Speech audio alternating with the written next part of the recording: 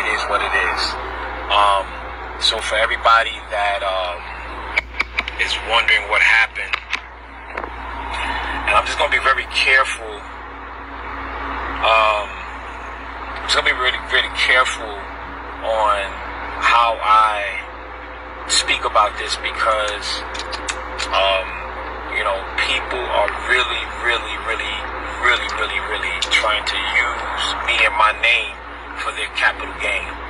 So today, um, we had some visitors in the church. We had some visitors in the church, and they were sent. They were sent, y'all. They were sent by, and I'm gonna say it like this: they were sent by um, two uh, two nobodies, two bloggers that are nobodies, and um, they were sent in to my church to disrupt my church. And you guys, you probably don't know the bloggers. If you're in, um, if you if you know me, you don't, you wouldn't know them. And um, but if you're in the church, you know who they are. Um, and I'm gonna say it like this: I um, I have lawsuits out, and you know, when retaliation is retaliation, that's just what it is. So these gentlemen, and we have proof. These gentlemen sent these two women um, in my church to disrupt my church, um, and they came in videoing. That's probably what you guys are seeing going viral.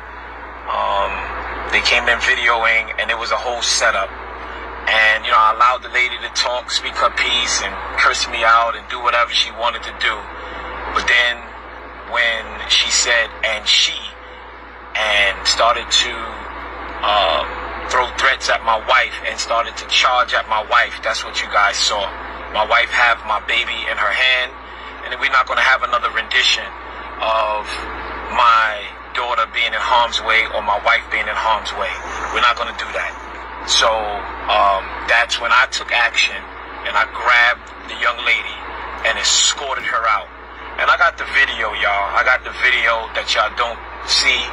Um, I am a gentleman. I am pro woman. I don't, I don't, I'm not an abusive man. Never been, never will.